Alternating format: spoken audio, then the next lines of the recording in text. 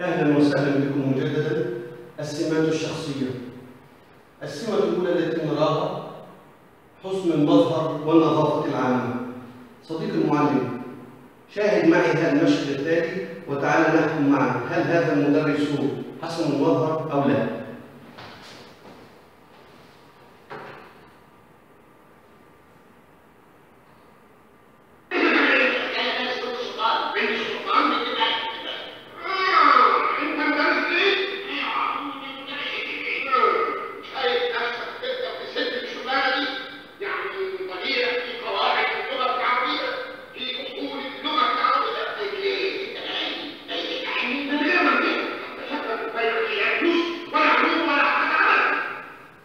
الأستاذ حمام كان طيب القلب كان جميل الطبع كان ذكيا يحب اللغة العربية ولكن مع الأسف لم يكن يهتم بمظهره لذا سقط من عين الجميع. تفاؤل صديق المعلم ابتسم في وجه طالبك تأخذ صدقة يقترب منك وتقترب منه عندما تبتسم. فإذا فإذا كان يخاف أن يسألك سيسألك مع الابتسامة. إذا لم يكن يفهم سيفهم مع الابتسامة. فلا تزيد صعوبة المادة بالعبث أمام طالبك. حسن التعامل مع الطلاب احترمه. فإن كان صغيرا فهو ابنك. وإن كان كبيرا فهو صديقك. الموهبة والإبداع. لا بد أن تكون موهوبا. ذكيا عندك حلول مبتكرة. النشاط كثير من المعلمين يشكو من نوم الطلاب في الصف.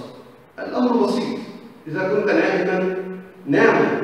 إذا كنت نشيطا نشطوا العمل لفترات طويلة وفي ظروف صعبة لا سيما عندنا في تعليم اللغة العربية للناطقين بغيرها. يحتاج إلى جهد كبير وإلى عمل وصبر طويل وهناك ظروف صعبة. الثقة بالنفس بدون تكبر. فلا تتكبر على طالبك. إنه عملك بدونه ليست لك فائدة. وفي الأخير ألخص لكم ما قلناه اليوم. ملخص محاضرتنا.